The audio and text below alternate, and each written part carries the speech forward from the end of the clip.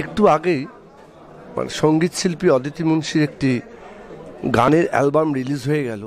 তারপরে আমাদের সঙ্গে সংগীত শিল্পী অদিতি মুন্সি রয়েছে। এই গানের অ্যালবাম সম্বন্ধে আমরা তার কাছ থেকে শুনে নেব। স্বাগতম অনেক অনেক ধন্যবাদ আপনাদের। আজকে যে গানের অ্যালবাম সোনা বন্ধু মানে সোনা বন্ধুদের এই অর্থটা দিয়ে কি বার্তা দেবে সোনা বন্ধুরে অর্থাৎ সোনা আমাদের বাঙালির কাছে একটা খাঁটি খাঁটি বলে আমরা তাকে মানি, শুদ্ধ, পবিত্র বলে মানি। তাই সোনা বন্ধু আমরা তাকেই বলি।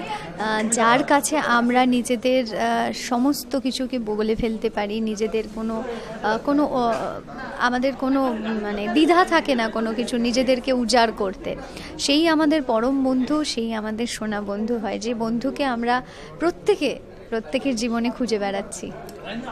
আজকে সারা বিশ্ব একটা ভাইরাসে আক্রান্ত। মানুষ খুব কষ্টে রয়েছে, বেদনায় রয়েছে। সেইখানে দাঁড়িয়ে তুমি এরকম একটা মানে মানে কষ্টের মধ্যে মানুষকে একটু আনন্দের জায়গায় নিয়ে আসার চেষ্টা করলে যে গান মানে মানুষ তো গানেই ভুলে থাকে, গানেই মানুষ নিজের দুঃখ দূর করে, সেই জায়গা থেকে এরকম একটা মানে ভাবনা মাথায় আসলো কীভাবে?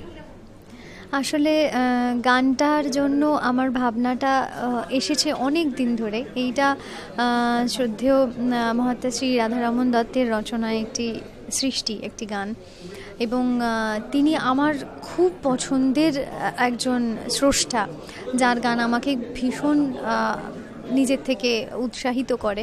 এবং তার এই গানটি যখন আমি শুনেছিলাম আমার মনে হয়েছিল এই গানটি মানে এই গানটা আমাদেরই কথা। আজকে এত বছর আগে উনি প্রত্যেকটা মানুষের জীবনের কথা কত সোজা সুন্দরভাবে বলেছেন। আপনারা শুনলেন যে এত সুন্দরভাবে তার শব্দ চয়ন এত সুন্দরভাবে উনি বলেছেন। আর তারপরে বাকি গানটা আমাদের না, গান আমাদেরকে দিয়ে করিয়ে নিয়েছে। আমরা কিছু করতে পারিনি। আমরা সবাই জানি অদিতি মুন্সি মানে কীর্তন স্পেশাল মানে কীর্তন, অদিতি মুন্সির গলা আর কীর্তন, এই কথাটা এখন সমার্থক শব্দ হয়ে গেছে। সেই জায়গায় দাঁড়িয়ে একটু ভিন্ন ধরনের গান গাওয়ার একটা যে ইচ্ছা প্রকাশ হলো বা মানে শ্রোতাদের যে দেখানো হলো, এটা নিয়ে তুমি কি বলবে? দেখুন বিভিন্ন ধরনের গানের চর্চা আমার ছোটবেলা থেকেই ছিল। এবং কীর্তনের প্রতি যেহেতু আমি ওই বিষয়টা নিয়ে স্নাতকোত্তর করেছি এবং ওই বিষয়টা নিয়ে চর্চা করেছি, মানুষ শুনতে পছন্দ করেছেন, আমি তাই জন্য শোনা তাই জন্য আমি সেই গানগুলো শোনাচ্ছি। কিন্তু তার বাইরেও তো আমরা তো রবীন্দ্রসঙ্গীতও শুনতে ভালোবাসি, সে আমাদের সবসময় রক্তের আছে। আমি সে গানও শুনতে ভালোবাসি, আমি অতুল প্রসাদ, দ্বিজেন্দ্রলাল রায়ও শুনতে ভালোবাসি। এবং ভালোবাসাটা কখনো কখনো মনে হয় যে আমার যারা কাছের মানুষ, যারা আমার এত শুভাকাঙ্ক্ষী, যারা আমাকে এতটা আশীর্বাদ করছেন, এতটা ভালোবাসা দিচ্ছেন, আমার সেই অনুভূতিটা তাদের সাথে একটু ভাগ করে নিই। সেই চিন্তা থেকেই আমার এই গান করার চেষ্টা।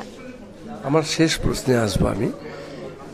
এই করোনা আবহের মধ্যে একটা খুব ক্ষতি হয়েছে, বিশেষ করে শিল্পী জগতে যারা মূলত পারফর্মার যে অনেক শো কমে গেছে, মানুষ গ্যাদারিংয়ের জন্য মানুষ সেই জায়গাটা পৌঁছতে পারছে না। এটা তো একটা মানে খুবই মানে শিল্পীদেরও কষ্টের শ্রোতাদেরও কষ্টের তারাও এরকম অনুষ্ঠান দেখতে পাচ্ছে না। বোথ সাইডে কি বলবে? নিশ্চয়ই এটা আমাদের কাছে খুবই কষ্টের কারণ শ্রোতা এবং শিল্পী বা দর্শক এবং শিল্পী এরা একে অপরের পরিপূরক। এরা না থাকলে এই দুটো শব্দ আসে না।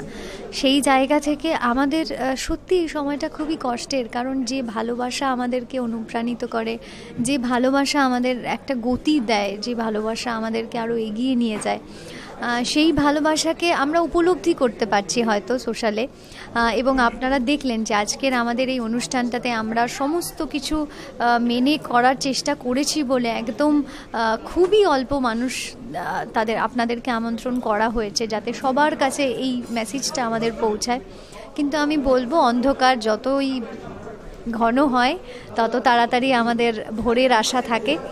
আমরা সকলে মিলে সচেষ্ট হলে এই অন্ধকার আমরা নিশ্চয়ই পেরিয়ে যেতে পারব।